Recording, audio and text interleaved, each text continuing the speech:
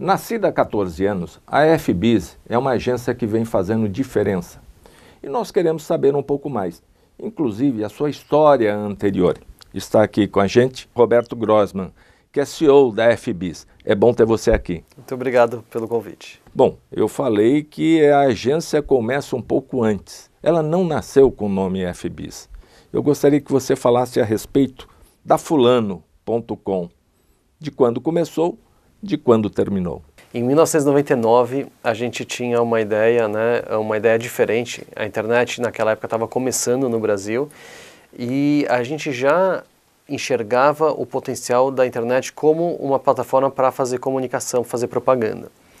E a gente enxergava como grande diferencial da internet, desse meio, a forma de fazer propaganda personalizada. Porque a gente sabia que todos os dados, todas as informações estavam, uh, poderiam ser utilizados para fazer comunicação, fazer propaganda. Então a gente pensou como a gente vai fazer com que as pessoas deem essas informações para nós. E criamos então um site, fulano.com.br, que foi um dos primeiros grandes sites né, focado no consumidor no Brasil e que ele usava através de jogos de perguntas e respostas, né, que a gente chamava de quizzes no, no site, é, para as pessoas responderem várias perguntas sobre elas, elas se cadastravam, respondiam perguntas e a gente ia construindo um grande banco de dados conhecendo uh, essas informações das pessoas e com isso a gente conseguia fazer propaganda personalizada. É, a gente, nossa forma de gerar receita era através de vender publicidade. Né? O que acontece é que grande parte dos nossos anunciantes na época eram empresas de internet. E uh, o que aconteceu foi que com o estouro da bolha em 2000, final de 2000, 2001, muitas das empresas acabaram diminuindo uh, os seus recursos e seus investimentos na sequência. E com isso, boa parte dos nossos anunciantes diminuiu muito o investimento é, minguou. E a gente teve que achar outra forma uh, de gerar receita. Uh, e então, daí que surgiu a FBIS, né? Uh, mas o site, a gente continuou durante um bom tempo com o site e com a FBIS. E os dois negócios foram em paralelos, até que por volta de 2006, 2007, a gente deixou de focar nos sites é, e realmente é, aumentou o foco na, na FBIS, que, que é o nosso negócio hoje. Bom, nós tivemos aí durante um bom período uma agência focada no digital. Mas em 2012 vocês passaram para uma comunicação integrada. Foi essa transição mesmo? O chegar de anunciantes que fez essa transformação? Naquela época, em 2010, 2011, a gente já enxergava que o futuro da comunicação ia ser integrado. Né? A gente tinha é, construído uma, um histórico de sucesso é, como agência digital, já era uma das maiores agências digitais do, do país, mas a gente queria mais e a gente enxergava que o futuro da comunicação seria integrado. Então a gente começou a dar os passos para construir uh, essa história. Né? E a gente foi investindo internamente em pessoas e em ferramentas uh, para isso, né, principalmente. Montamos um, uma área de planejamento mais forte, começamos a trazer gente de mídia também que conhecia a mídia offline e dos outros departamentos uh, também. E a gente ganhou nosso primeiro cliente de comunicação integrada, que foi a Motorola, que está com a gente até hoje. É, e com eles realmente a gente começou a colocar na prática essa visão de comunicação integrada.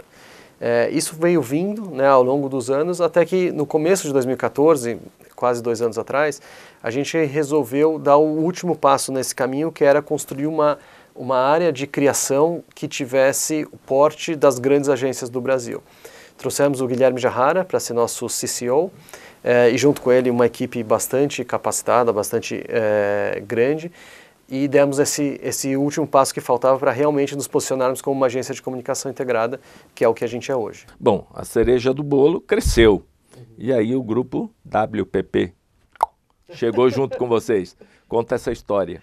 É, o, na realidade o, o grupo WPP né, já, tinha tido uma conversa com a gente, é, uma, um interesse de uh, comprar FBIs ou de comprar uma boa participação para uma das empresas do grupo, é, mas a gente queria mais, a gente acreditava e acredita, né, e hoje acho que boa parte realizado, que a gente poderia construir nosso caminho, nosso futuro uh, de uma forma independente às, aos grupos in, internos da WPP, né, ou de qualquer outro grande grupo na, na realidade.